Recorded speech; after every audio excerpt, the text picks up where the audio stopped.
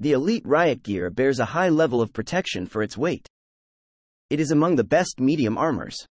Its damage threshold is equaled or surpassed only by a handful of other equipment pieces, but it has the benefits of lower weight and higher item HP. Its item HP of 750 is the highest of any medium armor in the game, and it is also one of only seven equipment pieces to boost critical chance. The Elite Riot Gear has the highest value of all the armors in game, making it very expensive to repair through merchants. The Riot Gear helmets are of the very few headgear pieces that are considered heavy apparel and thus cannot be repaired by most other headgear, even with jury rigging. However, it can be repaired with heavy body armor such as metal armor. It can also be repaired with the Ranger helmet.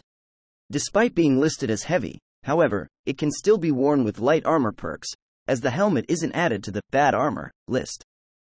Like the other Riot Gear variants, the helmet gives a night vision effect, called Red Scare, which gives the user low light visibility while in sneak mode between 6 p.m. to 6 a.m. or while indoors.